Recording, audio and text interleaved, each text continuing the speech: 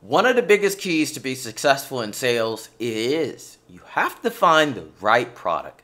You have to like or love the product that you're selling. It comes through in your voice, the way you express yourself, the way you write your copy, the way you actually advertise. So when you're communicating with a potential client, it comes through in your voice, your actions, the way you feel. Do you love or like the product that you're working with?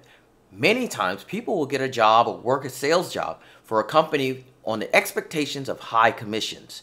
Well, that's good. Happens a lot. Yeah, go for the money. No problem. But the thing is, you'll find out down the road that that will not pay off for you. You will be leaving that job because eventually everything that you do will show.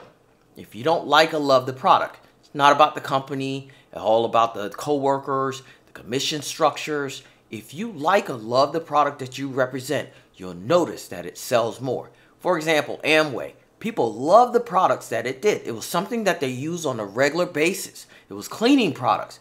Everybody used them. They worked.